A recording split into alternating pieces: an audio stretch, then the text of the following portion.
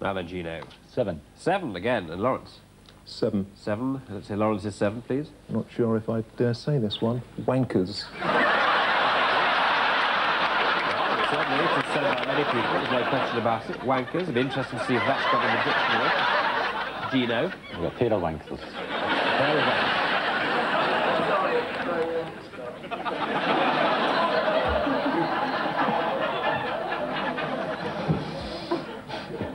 Sorry, Is it sorry, in? sorry, sorry. It's in. Oh, it's in. They anticipated my next line. What is Richard Whiteley doing asking for a definition?